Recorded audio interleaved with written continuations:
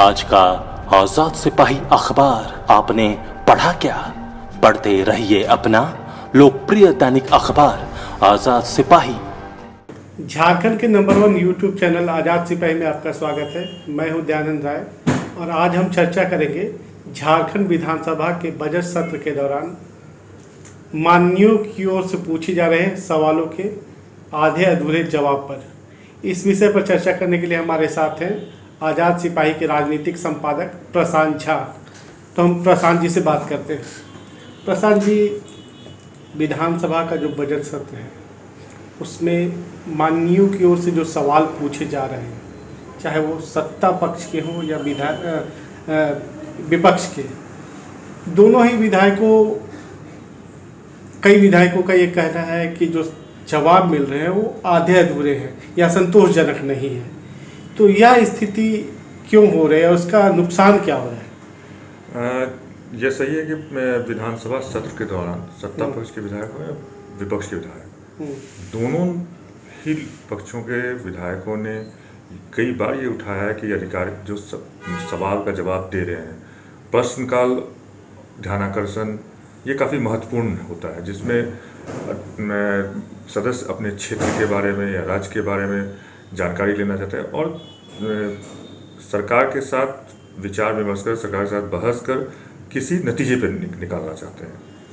तो जो जवाब उनको आता है, वो जवाब या तो आधा अधूरा रहता है, या उसमें पूरी तरह से संतुष्ट जवाब के नहीं हो रहे ये दोनों ही पक्षों के लोग हैं। इसकी, असल में जवाब तैयार करते हैं अधिकारी और मंत्री देते हैं जवाब इसमें। तो अधिकारी जो जवाब तैयार करते हैं, वो सही तरीके से जवाब अधिकारियों की ज़िम्मेदारी को तय करना ज़रूरी है सरयू राय जी ने भी इस पर असंतोष ज़ाहिर किया उन्होंने भी कहा है कि जवाब संतोषजनक नहीं रहता है हाँ सरयू राय ही नहीं नहीं हम्म। सरयू राय ने अनंत ओझा ने हम्म। सीपी सिंह ने हम्म। प्रदीप यादव ने यहाँ तक कि सत्ता पक्ष के लॉबिन हेब्रम ने इन लोगों ने कम से कम आधे दर्जन विधायकों ने ये समस्या सदन के भीतर उठाया कि जवाब जो मिल रहे हैं प्रश्न के वो बहुत आधे अधूरे हैं या संतोषपूर्वक नहीं है या जो जवाब दिया जा रहा है पूछा जा रहा है कुछ कहा जा रहा है कुछ। मैं सरयू रहे तो विशेषाधिकार हनन की बात लिख के दे दी अध्यक्ष को। अनंत ओझा जाके शिकायत करा है लॉबिन हेम्ब्रम ने अपने मंत्री को ही मिथिलेश ठाकुर पर ही, ही नाराज़गी ज़ाहिर कर दी सदन के अंदर ही। उन्होंने कहा कि कि भाई आप, आपको जो अधिकारी लिख के देते हैं, वो आप यहाँ पढ़ देते हैं। सरूर ने कहा कि मुझे अधिकारियों के के मुँह से जवाब निकलवाना आता है। तो ये चीज़ें बहुत ही सरकार के लिए हास्यास्पद हो जाती है। मंत्रियों की खिंचाई होती है, किरकिरी होती है, सरकार की छवि धूमिल होती है।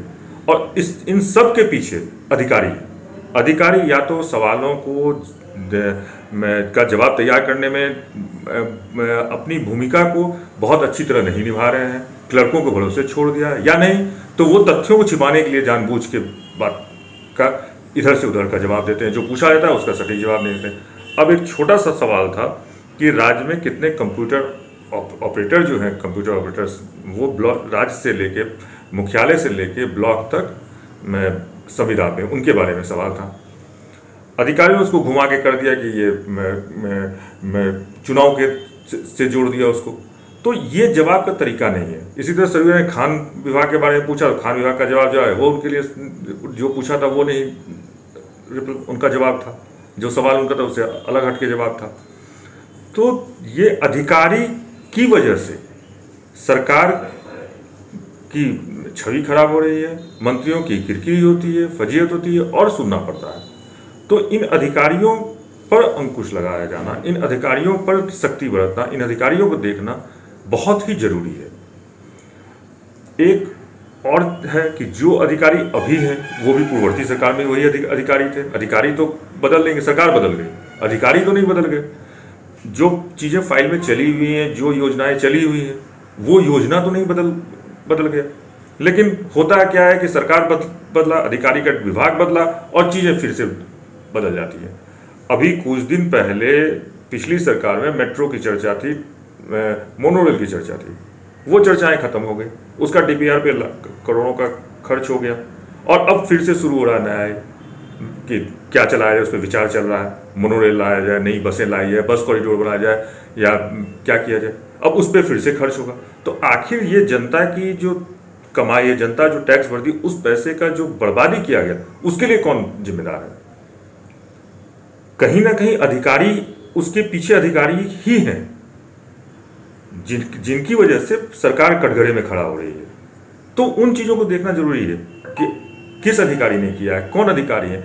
मोमेंटो झारखंड का बात होता है कि इतने खर्च हो गए या उद्योग इतने आएँगे उस समय भी उद्योग के, के लिए प्रयास होता फिर से उद्योग के लिए प्रयास शुरू हो रहा तो आखिर अधिकारी तो वही एक विभाग से दूसरे विभाग और दूस, और दूसरे विभाग से तीसरे विभाग जाते हैं। सरकारें बदलती है।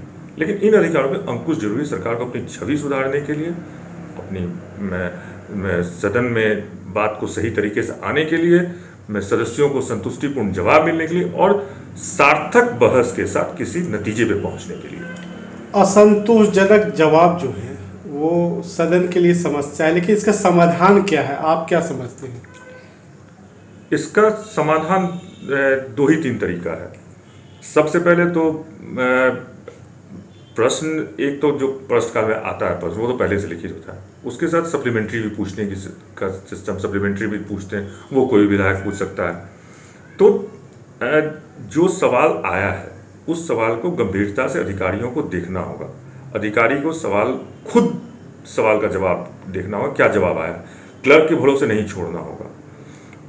उसके बाद वो मंत्री के पास आता है, विभागीय मंत्री के पास सवाल। तो विभागीय मंत्री को अपने में जिस दिन सवाल आने वाला उससे पहले अधिकारियों की बैठक बुला के उन सवालों के बारे में चर्चा करनी हुई उन सवालों के बारे में देखना होगा गंभीरता से। और मन, मंत्री को एक विधायक की तरह सोचना होगा उन उस मुख्य सवाल से सप्लीमेंट्री क्या क्या पूछा जा सकता है क्या क्या निकल सकता है और वो उसके बारे में पहले से तैयारी करें। दैट मीन्स कि होमवर्क सब सभी को करना होगा सवाल को लेकर वो अधिकारी हो वो वो मंत्री हों उनको होमवर्क करना होगा तब सदन में आएँगे तो बेहतर तरीके से जवाब दे पाएँगे बेहतर तरीके से सोल्यूशन निकल और जहाँ गड़बड़ी हो उस पकड़ में आएगी किसकी गड़बड़ी से इन सवालों का जवाब सही नहीं आ पाया। सदन में जो असंतोषजनक सवाल सवालों के जवाब आ रहे हैं तो क्या गलती सिर्फ़ अधिकारियों की है या फिर राजनीति से प्रेरित होकर भी कुछ सवालों के जवाब आधे अधूरे दिए जाते हैं? नहीं राजनीति से प्रेरित होकर जवाब ये हो सकता है कि राजनीति से प्रेरित होकर जवाब सिर्फ़ विपक्ष के लिए हो। कि विपक्ष राजनीति से प्रेरित होकर सवाल पूछता हो तो उसका जवाब उसका लेकिन ये समस्या सत्ता पक्ष के साथ भी है। कोई सिर्फ़ विपक्ष विधायकों के साथ ये समस्या नहीं सत्ता पक्ष विधायकों के लिए है। एक सवाल सत्ता पक्ष के विधायक ने पूछा था सिंचाई को लेके किसी। तो तो विभाग का जवाब है कि ये हमारे विभाग का है ही नहीं, ये योजना हमारे विभाग का है ही नहीं। अरे, ये जवाब नहीं हो सकता है कि हमारे विभाग का योजना है नहीं इस तरह का। तो देखना चाहिए किस कहाँ का है। उनको वो जवाब सही मिलना चाहिए। या मंत्री को बताना चाहिए किस किस विभाग का है। तो ये राजनीति से प्रेरित बहुत ही कम होता है सवाल क्योंकि जो भी सवाल पूछे थे, वो वो फ़ाइल से जुड़े हुए, वो चीज़ों से जुड़े, योजनाओं से जुड़ी हुई हैं, व्यवस्था से जुड़ी हुई है। तो उनको छिपाया नहीं जा सकता है उन चीज़ों को। तात्कालिक आप उसको टाल सकते हैं। तो ये कह सकते कि अधिकारी उसको कभी का राजनीतिक से प्रेरित होकर टाल मटोल के लेकिन उन तथ्यों को छिपाना जो फ़ाइल में है जो चीज़ें ज़मीन पे हैं जो चीज़ें दिख रही हैं उन उन तथ्यों को छिपाना छिपाया नहीं जाता आज निकल वो आएगा ही सामने। सिर्फ़ आप टाल सकते हैं कुछ समय के लिए। तो वही अधिकारी अक्सर करते हैं टालते हैं। राजनीति से प्रेरित इसको कुछ हो सकता है एक परसेंट हो सकता है दो परसेंट हो सकता है कि कि इस सवाल का जवाब देने से हम पे भी हो, हो सकता है। या बहुत बार ऐसा होता है कि अधिकारी खुद को बचाने के लिए भी बहुत बार ऐसा करते हैं कि जवाब नहीं देते हैं सही। तो ये सब चीज़ों को कहाँ किस तरह का सवाल है इस पर निर्भर करता है कि क्या किया गया माननीयों को उनके सवालों के बेहतर जवाब मिले इस दिशा में सदन क्या कोई उपाय कर सकता है कोई कदम उठा सकता है? क्या विधानसभा अध्यक्ष की इसमें कोई भूमिका हो सकती है? विधानसभा अध्यक्ष तो मैं कम से कम मैं सदन में तो सर्वे सर्वा है प्रमुख हैं उनके उनका अगर एक भी कोई नियमन होगा तो उसे मानना तो होगा ही। इसीलिए विशेष अधिकार हनन के लिए वहाँ पे उन, उनके पास शिकायत गया या और दो विधायकों ने भी शिकायत किया। उनके पास उन्होंने भी टिप्पणी की है समय समय पे कि आप लेके आए। अभी विधानसभा ने एक सवाल में विधान जब सदस्य नहीं संतुष्ट हुए तो अध्यक्ष ने कहा कि इस सवाल को अगले दिन के लिए कूट कर देते हैं। मतलब अगले दिन के लिए रख देते हैं अगले दिन तैयारी करके आए मंत्री और जवाब दे इस पर तो ये तो नियमन दे सकते हैं लेकिन सुधार जो करना है जो पहले से व्यवस्था सुधरी है जो व्यवस्था है, उस, वो व्यवस्था सुधर जाए। उसके लिए सरकार को, मंत्रियों को ही प्रयास करना होगा। उसमें विधानसभा का हस्तक्षेप नहीं हो सकता है। प्रश्न पूछने की जो प्रक्रिया है, उसमें संबंधित विधायक, संबंधित विभाग और मंत्री, इसके अलावा पूरी जो नौकरशाही उसकी भी बहुत हद तक भूमिका होती है। तो क्या इसमें सुधार के लिए सभी पक्षों को अपने अपने स्तर पर प्रयत्न करने की ज़रूरत होगी। हाँ अपने अपने, बिल्कुल अपने अपने स्तर पर करना होगा। अधिकारी को, क्लर्क के भरोसे नहीं छोड़ना होगा चीज़ों को। उन्हें देखना होगा क्या सवाल है। क्लर्क ने बना के जवाब दे दिया, उस जवाब को साइन करके भेज दिया, हो गया। यहाँ उनकी भूमिका इतनी नहीं है। वो सवाल को पढ़ें, देखें, और जो जवाब आया वो कितना संतुष्टिपूर्ण है। उनको क्या लगता है, सही है जवाब या नहीं है। मंत्री के पास जाता है, साइन करके मंत्री देखें। सदन की कार्रवाई शुरू होने से पहले, जिस दिन प्रश्न आया, उससे पहले मंत्री अधिकारियों के साथ बैठक करें। बहुत सारे राज्यों में ये सिस्टम है। पहले भी यहाँ भी होता था कि मंत्री बैठते थे। तो वो बैठे, निश्चित रूप से बैठे कि ये सवाल, दस सवाल आया हुआ है, पंद्रह सवाल उनके विभाग का है तो उस सवाल को लेके बैठे। कि इन सवालों को क्या जवाब आपने तैयार किया है या किस तरह जवाब जवाब अधिकारी तैयार करके भेज दिया और कई बार ऐसा हुआ है कि कमेंट भी किया गया है दूसरे सदस्यों की तरफ़ से सत्ता पक्ष की तरफ़ से विपक्ष की तरफ़ से कि अधिकारी यहाँ पढ़ देते हैं। जिस तरह की लॉबिन हेमब्रम ही ने कहा मिथिलेश ठाकुर को कि, कि आप आपको जो अधिकारी लिख के देते हैं वो आप यहाँ के जवाब पढ़ देते हैं। तो ये कहीं ना कहीं सभी को इसके लिए प्रयास करना होगा। सरकार अधिकारी पे अंकुश लगाए, सरकार अधिकारी पर सख्ती बढ़ते, मंत्री खुद को तैयार करें और तब सदन में आए। तो निश्चय ही इसका व्यवस्था बदलेगी, स्थितियाँ बदलेगी, सार्थक बहस हो पाएगा। नहीं तो इसी तरह से मैं मंत्रियों की किरकिरी होगी, सरकार की छवि धूमिल होगी। लेकिन ये ये सोचनी विषय है सारी चीज़ों का कि सरकार आती है जाती है। सिस्ट, सिस्टम जो व्यवस्था जो है वो बनी रहती है। फाइलों में चीज़ें दबी रहती हैं। में योजनाएँ चलती हैं। वो नहीं हो सकता है बदला जा सकता। है तो अधिकारी एक विभाग से दूसरे विभाग जाते आते रहते हैं। तो इसलिए उन चीज़ों को देखना बहुत ही आवश्यक है। व्यवस्था को सुदृढ़ करना बहुत आवश्यक है। यह एक चिंतनीय विषय है और इस पर सोचना चाहिए सरकार को तभी व्यवस्था सुधर पाएगी।